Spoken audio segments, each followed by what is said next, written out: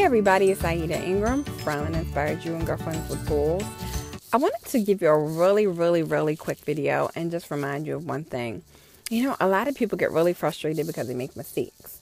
But I have good news, not bad news. Everybody makes mistakes. Everybody. So, what I need you to do is think about mistakes differently.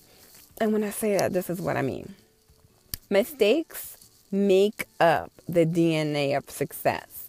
You know, each of us have DNA in our bodies. They determine what color our eyes are, the things we have, the things we don't. All of those things work together. Well, guess what? Mistakes are the exact same way. So, if you begin to treat your mistakes like they're part of your own formula for success, you'll find that you'll be more successful. But you have to learn how to use them.